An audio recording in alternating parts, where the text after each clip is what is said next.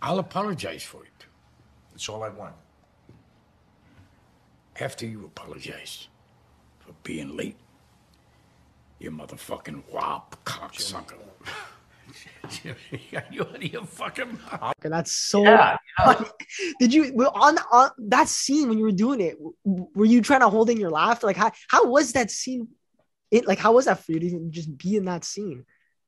Oh my God, it's it's hard to describe. You know, when you find yourself as an actor, uh, sitting at a table with you know two of the most cinematic icons in, in the in the in the world that that are, and that's how you feel about them personally. And then you're being directed by Martin Scorsese. Uh, it was a, it was a, it was beyond a dream. It was hard to even understand.